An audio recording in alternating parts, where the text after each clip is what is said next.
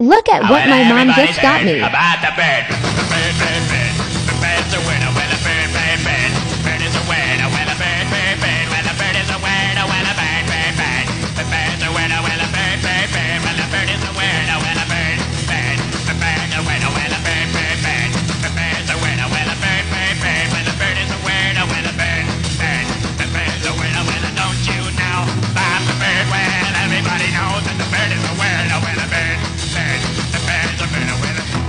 Thanks for watching.